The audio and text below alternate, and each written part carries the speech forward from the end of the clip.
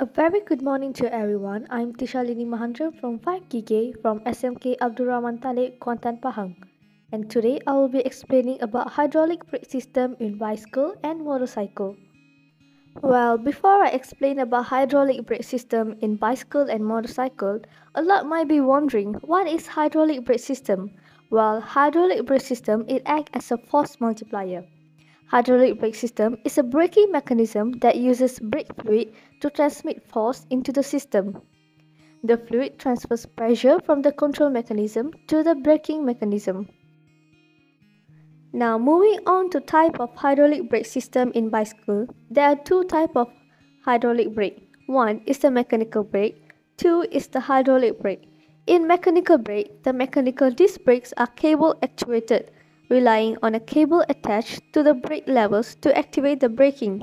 In hydraulic brake, it uses hydraulic fluid in a fully sealed line when you brake. It increases the pressure that is applied to the caliper, which presses the pads against the disc brake. Well, since I have explained type of hydraulic brake system in bicycle, let me explain about the one in motorcycles.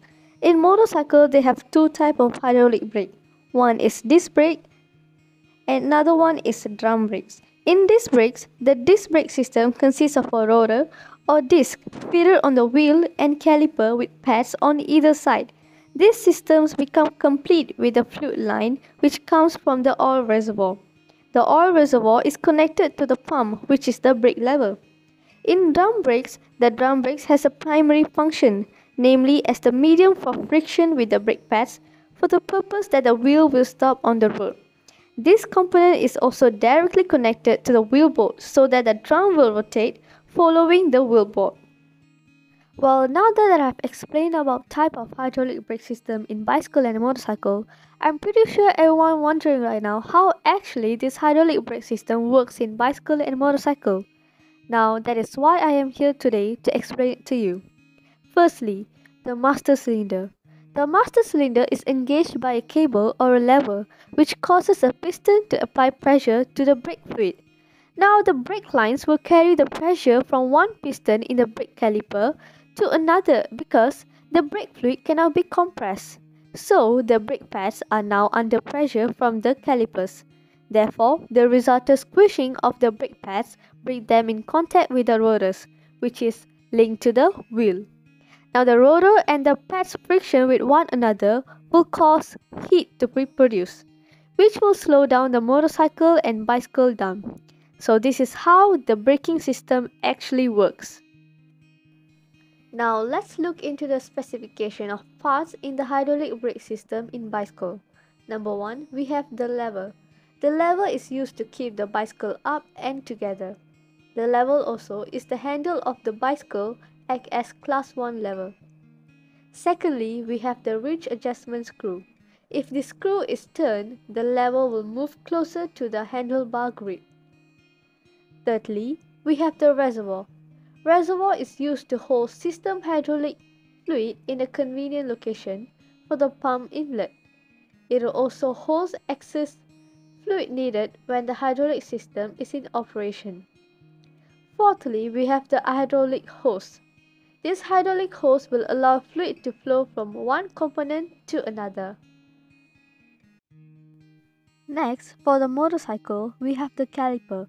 The caliper it clamps the pads against the brake rotors and slow down the motorcycle. Secondly, we have the brake pads. The brake pads apply pressure to the rotor, which is directly connected to each wheel. This pressure creates the friction needed to slow or stop the vehicle. Thirdly, we have the brake lines. The brake line it transmits the hydraulic pressure to the wheel cylinder and brake calipers. Fourthly, we have the master cylinder. The master cylinder it pushes the brake fluid into the slip cylinder, which is the caliper. Fifth, we have the brake fluid. The brake fluid is used to transfer force into the pressure. Now, for those who are watching this video right now, I'm pretty sure you guys must be wondering what is the point of using hydraulic brake system? Is there even a benefit of using hydraulic brake system? Well, guess what? There is benefit of using hydraulic brake system. Firstly, Hydraulic brake system, it works efficiently and rarely fails. Other than that, it provides more braking power because they have greater contact area which supports heat dissipation. Thirdly, it is also reliable at high speeds. Fourthly, the hydraulic brake system it works better compared to mechanical brakes in wet and muddy conditions. So if you were thinking that using a hydraulic brake system has no benefit, then you were wrong because using a hydraulic brake system is much more better and makes everyone's life easier. Now, as an extra information for everyone, I would like to also explain about the anti-lock braking system, which is also known as ABS. ABS uses speed sensors on both wheels to accurately determine wheel speed, as well as sensors to determine when a wheel is about to lock. ABS adjusts the braking pressure accordingly to prevent the wheel from locking and assists with maintaining the stability of the motorcycle.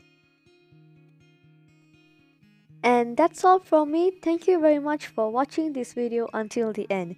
And if my video is got selected, make sure to like, share and subscribe to Cikgu Ana Ajar Fizik YouTube channel. And that's all from me. Thank you.